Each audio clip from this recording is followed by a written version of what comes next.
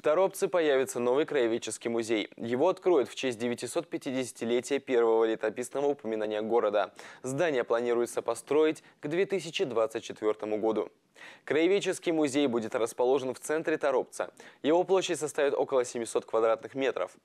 Согласно плану, в здании разместят несколько экспозиционных залов, выставочную галерею, музейный блок. Во внутреннем дворе будут проводить мастер-классы.